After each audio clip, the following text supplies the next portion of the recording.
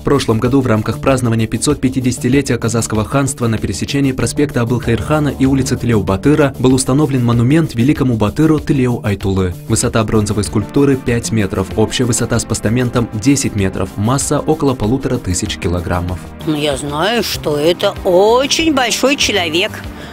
Мы его все уважаем, привезли. Он на нашей земле родился. Поэтому его поставили сюда. Я очень довольна. Каждый день хожу здороваюсь с ним. Все почести отдаю, как положено. А кто это? Батыр. Батыр. Как его зовут, знаете? Ну, так вон почитаю там. Конечно, знаю. Я же уже мне сколько лет. А так я очень-очень-очень-очень. И при том э, у нас есть приятельница, это ее дед.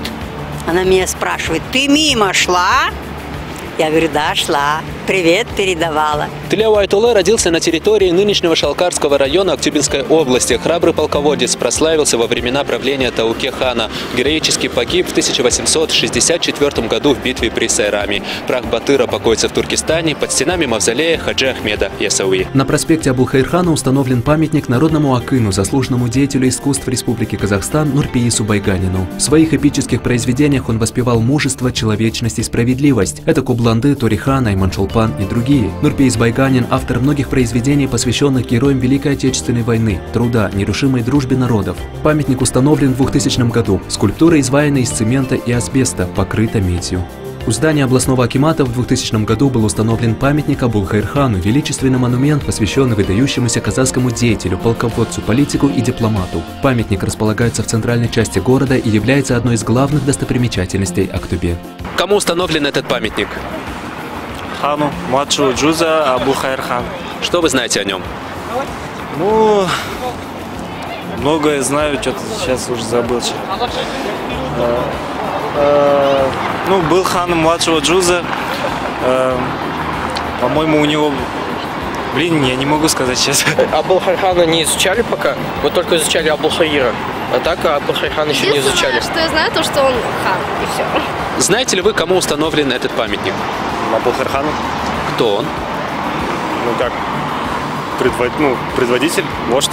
Я не интересуюсь этими старыми политиками и историями. Хорошо, а где находится памятник Абулхайрхану? Я не знаю. В городе видели где-нибудь? Но, скорее всего, да. Но где находится, не знаете?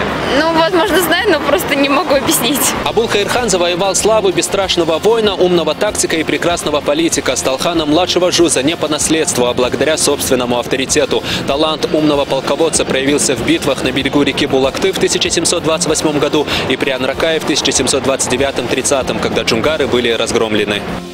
Перед вами мемориальный комплекс Героя Советского Союза Алии Молдогуловой. Он был открыт в 2005 году 23 сентября. Авторы мемориала – известные скульпторы Бахаджан Абишев и Иркен Сергибаев. Они попытались уйти от общераспространенного изображения Алии как сурового воина советской армии. Героиня предстала в виде юной 18-летней девушки, чью жизнь трагически оборвала война. Взгляд девушки устремлен вдаль, но лицо спокойно, рука с плащ-палаткой опущена вниз, словно знает Алия, что на родной земле воцарился мир.